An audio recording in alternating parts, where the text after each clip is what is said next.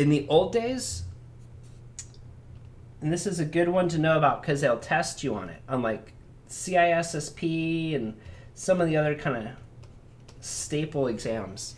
They'll want you to know what a Smurf attack is.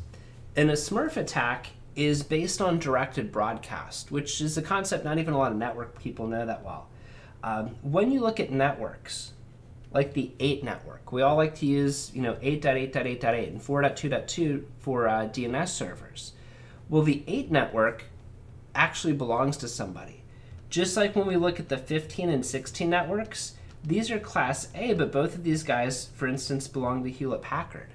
So if you own the entire 15 block, you've got room for like 16 million addresses.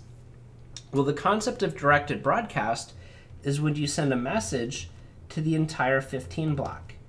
So if I sent a message to the IP address 15.255.255.255, this is a directed broadcast.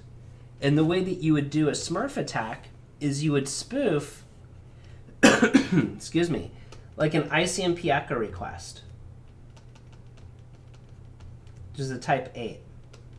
And I go, hey, and I pick somebody else's address, 7.8.9.10. I go 7.8.9.10, that IP address has an echo request for 15.255.255.255. This source IP is spoofed.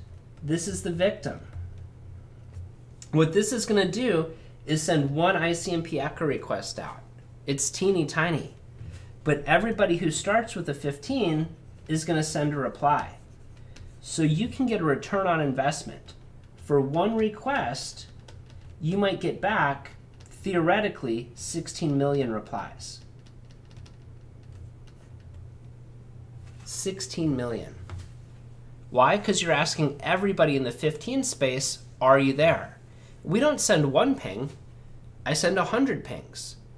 And what happens there is this number of replies, I get 16 million replies per request. So this is an example of what's called bandwidth amplification. By sending out one tiny request, I can get a larger reply and even multiple larger replies to come back. Again, the idea is that the victim's sitting there twiddling his thumbs, and all of a sudden he's getting hammered with all this ICMP traffic, all these replies from all these users. They're tiny, they're little messages, but you're getting overrun by tons of them. That's why it was called the Smurf attack.